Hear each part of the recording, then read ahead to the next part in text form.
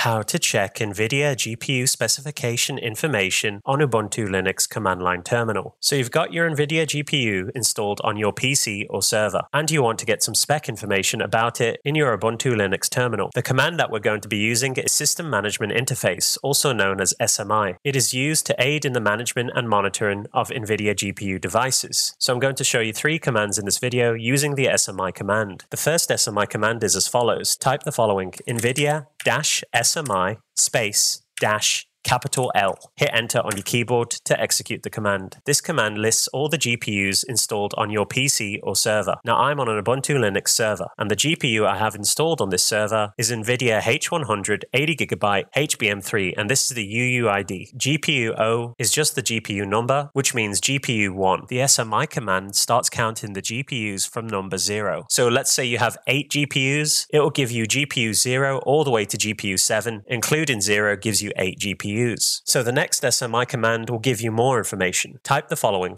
NVIDIA-SMI and then hit enter on your keyboard. And as you can see, this command gives you a bit more information, such as the driver version, the wattage being used, the temperature, and various other information. Now, if you want even more information about your NVIDIA GPU, then you'll need to type the following command. Type again NVIDIA-SMI space dash Q and make sure that it's not a capital Q, so it's a small q. Hit enter on your keyboard. This time you get a lot of information about your NVIDIA GPU, such as the clocks, the voltage, the power limits. If I scroll up, you can see there's so much information here about your NVIDIA GPU, pages and pages even. You can even see the VBIOS version here. All right, so that's the three NVIDIA SMI commands, and that pretty much concludes this video on how to check NVIDIA GPU specification information on Ubuntu Linux command line terminal. If you would like to practice further in your own time Ubuntu Linux terminal commands, then I'll put my referral link to a cloud hosting provider that will give you some free credits where you can practice on a cloud server. If you enjoyed this video,